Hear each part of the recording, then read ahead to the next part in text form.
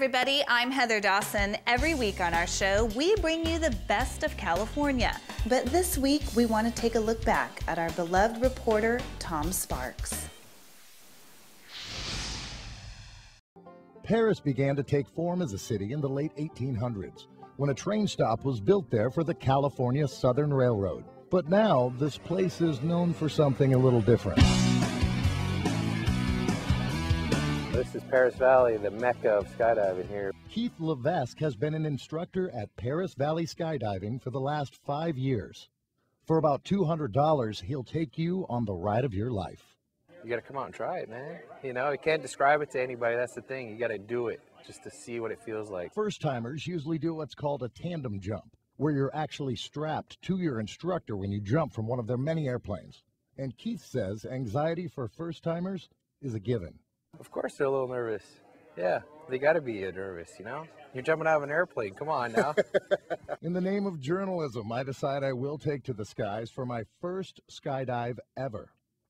I question my decision almost immediately. what we got here is an altimeter. It's going to tell us how high we are above the ground in thousands of feet. Or if you're a pessimist, how close we are to impact. After a 10 minute crash course, bad choice of words, we're ready to head up. We're going to be in free fall for roughly about a minute, doing 120 miles an hour. And then Tom here is going to open the parachute at 5,000 feet. I'm opening. it. You're opening the parachute. After saying my goodbyes, I love my mom. it is on.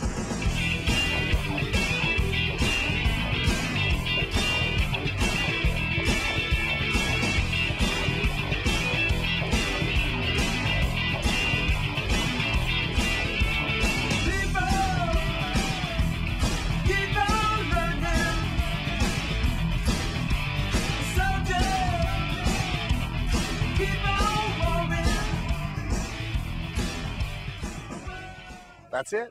One hour and a half. I've learned to skydive. I've been up in the plane, and I jumped from 12,000 feet. For California Life. For California Life. California Life. I'm Tom Sparks.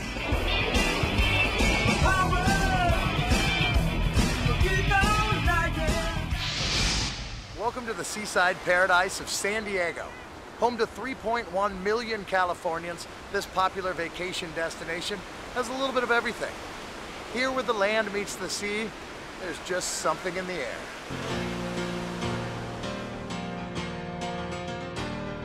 Whether you're the adventurous type or more traditional, San Diego has something for everyone. Known for its coastal views and legendary beaches like Mission Beach, Pacific Beach, and La Jolla, San Diego also stays classy with world class art and culture that reflect the city's rich history. Entertainment and nightlife are second to none, and man and nature find common ground. SeaWorld is a must. Of course, there's the world famous San Diego Zoo, showcasing 4,000 animals of nearly 800 species. And no trip to San Diego would be complete without visiting Legoland, California, an interactive theme park located in Carlsbad, a 35 minute drive from downtown San Diego. Or instead of driving, take a ride on some of the city's seemingly endless trails or waves. And the Gaslamp District is hugely popular for great food, shopping, and nightlife. And don't forget to stop by Old Town. It's the heart of San Diego where tradition lives and old fashioned fare abound. And the authentic cuisine will blow your mind. But of all the things to do in San Diego, my favorite is doing very little in this city with so much. And coming up next, it's been 10 years since we lost our friend, reporter Tom Sparks, and his legacy continues to live on through the scholarship in his name at USC. See how the scholarship has grown every year and the amazing doors it has opened for the beneficiaries. Plus, more of Tom's stories on famous USC alums who went on to play in the NFL, including his profile on Coach Pete Carroll when we return.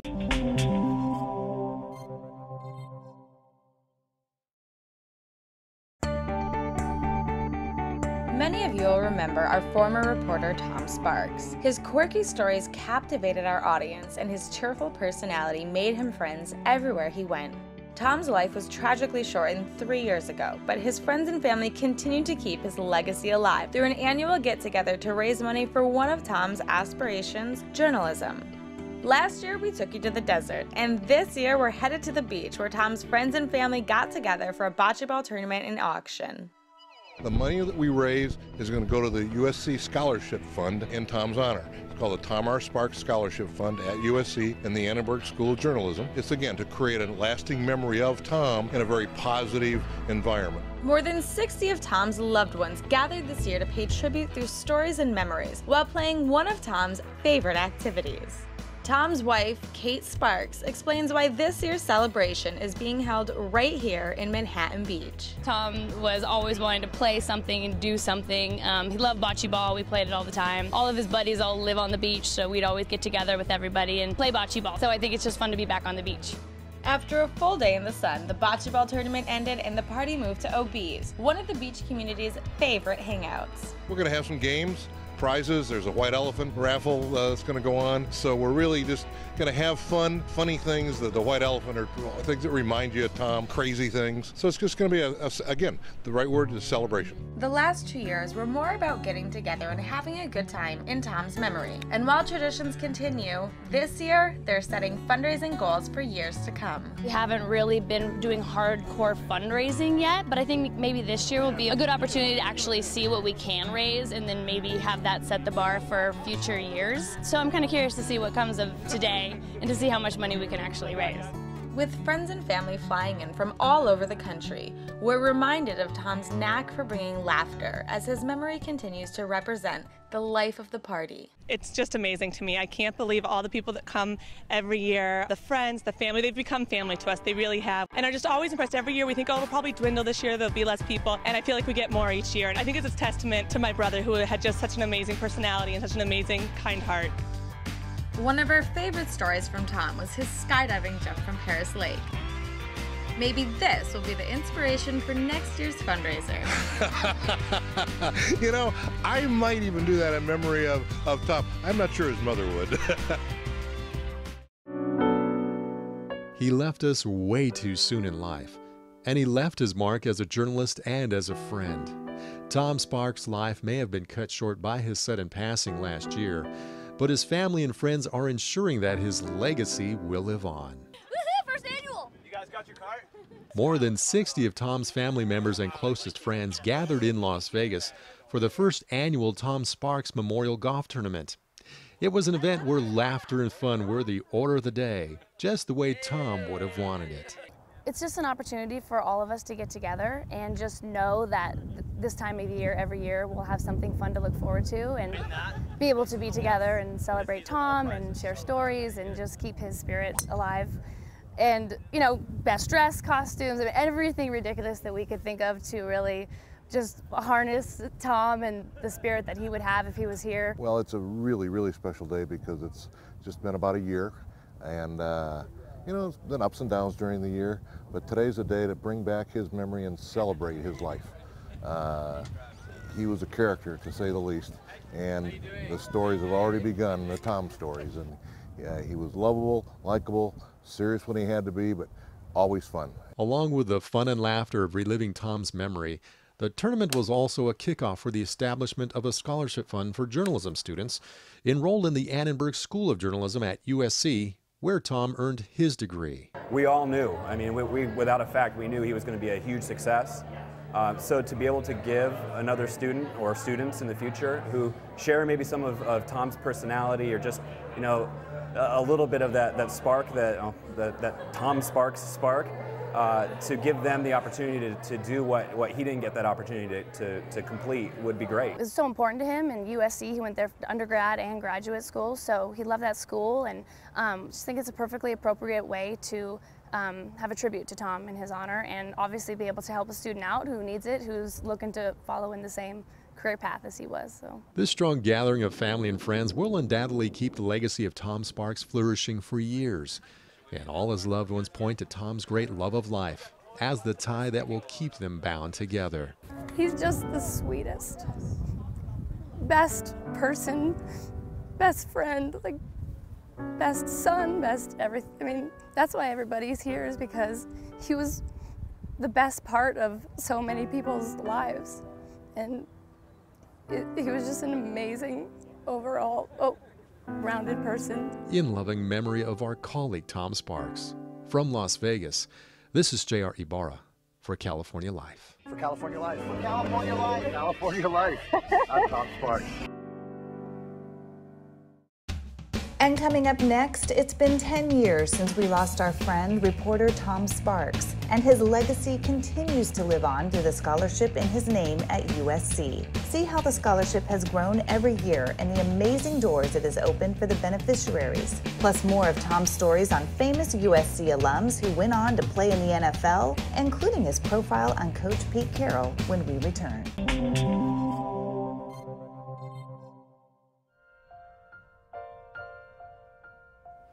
Ice Castles, the figure skating movie that made Robby Benson a star in 1978, is currently being remade with the original director. They're already filming in Nova Scotia, and this time around, Taylor Firth is set to star as the champion figure skater who loses her sight. Well, this isn't the only movie makeover in the works. 20th Century Fox and Lakeshore Entertainment are currently spearheading a new version of the 1985 movie Girls Just Want to Have Fun, which starred a very young Sarah Jessica Parker. Well, Martin Scorsese is signed on to direct and produce a biopic on the life of Frank Sinatra.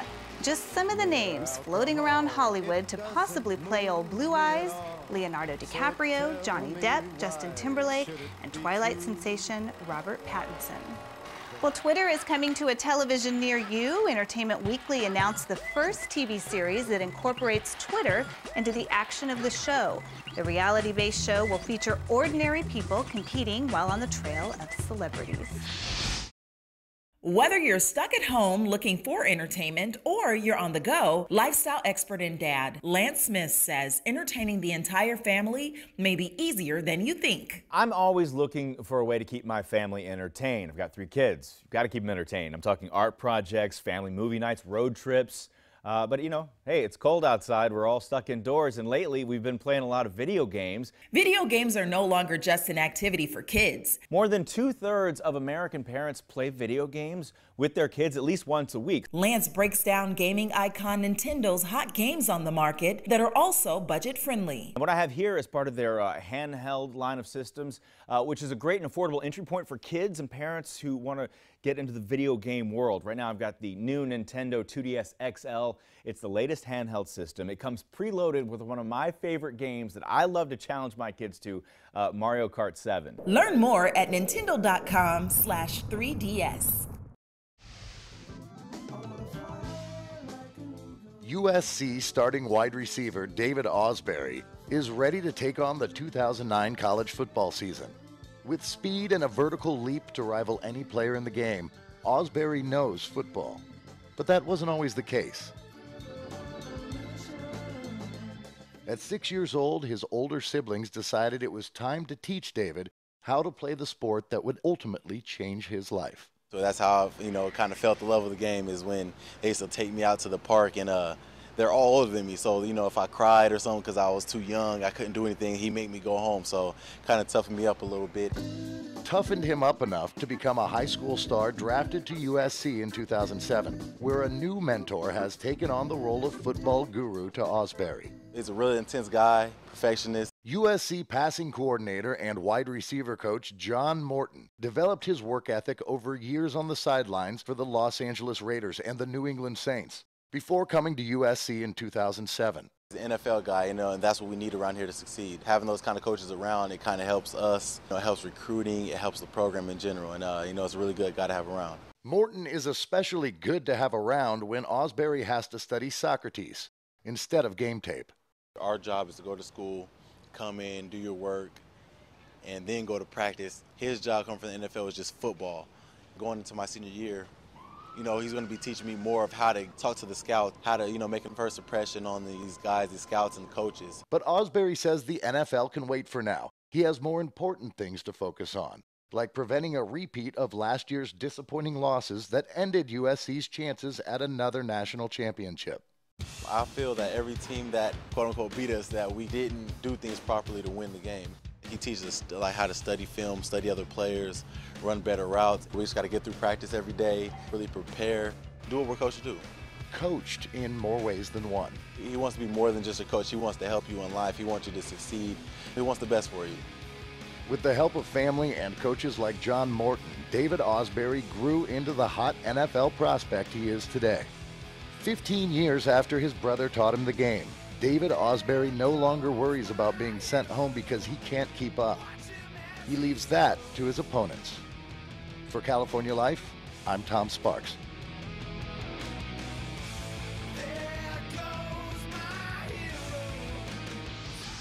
Everything about USC's starting left tackle, Charles Brown. What's up, coach? Is big.